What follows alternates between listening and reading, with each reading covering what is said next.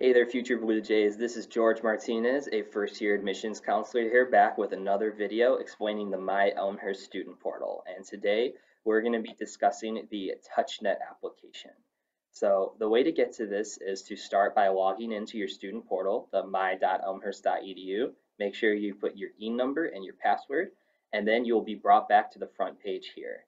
From there, you'll click the TouchNet application and it'll open up another website in another tab.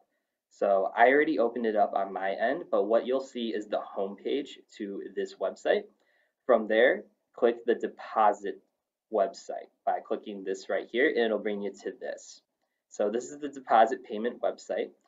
What you'll do is you will choose the term that you are deciding to start your Elmhurst career, and then from there, you'll choose which deposit payment you want to make.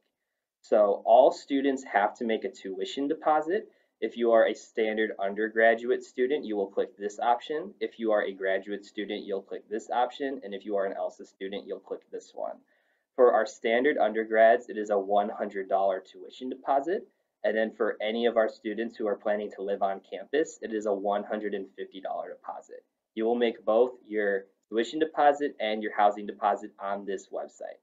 So after you select both the term and the type of deposit you want to make, You'll select on both, and then it'll bring you to another website where it'll ask for your credit card information so that way you can put down the deposit and boom, then you are a committed Blue Jay.